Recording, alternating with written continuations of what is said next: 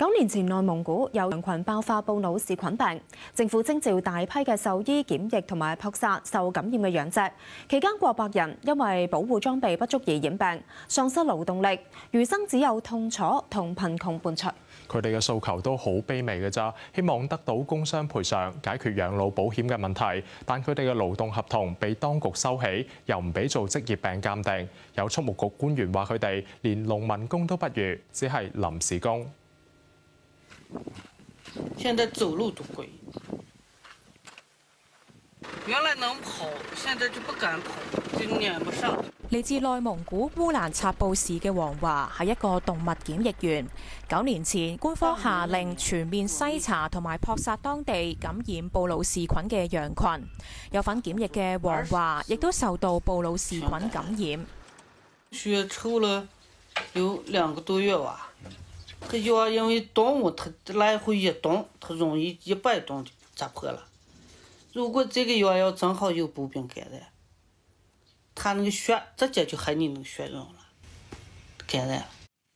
連埋佢受感染嘅檢疫人員超過一百人，佢哋嘅裝備簡陋，口罩、防護鏡欠奉，消毒措施亦都冇做足，每日做成十幾個鐘，唔少人一邊做一邊發病。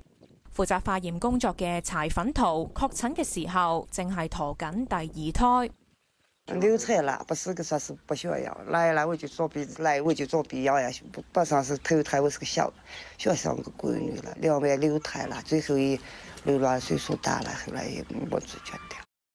佢哋話當局最初有提供免費治療，但隨住時間越耐，治療停咗，手尾就越嚟越長。而家周不時全身冇力，身體多處包括關節、肌肉會痛。男性嘅話，睾丸亦都會痛。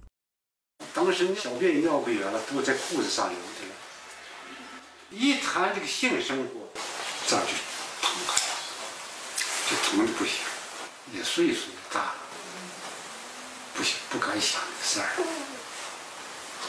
现在就是这个腿，每天也疼的不行。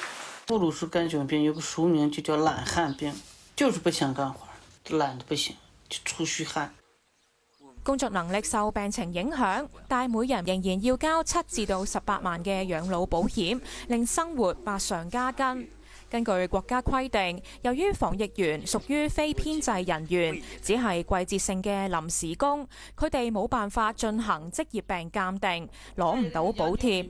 佢哋希望政府唔好遺忘佢哋。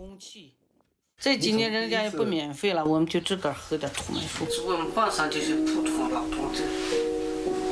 沒個什麼很大的地效呀，你說一年比功夫，那给我们办个养老保险最好了。